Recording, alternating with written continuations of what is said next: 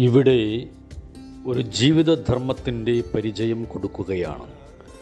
അതിന് ദൈവത്തിൽ നിന്നും ഒരു അവകാശം കിട്ടിയതാണ്. ആ ധർമ്മത്തിൽ അടിയുറച്ച് നിന്നുകൊണ്ട് പുണ്യവും അതിൽ നിന്നും ഭാഗ്യവും സമ്പാദിക്കാൻ എളുപ്പമാണ്. ഇത് ജീവന്റെ നിലനിൽപ്പിന് തന്നെ ആധാരമാണ്.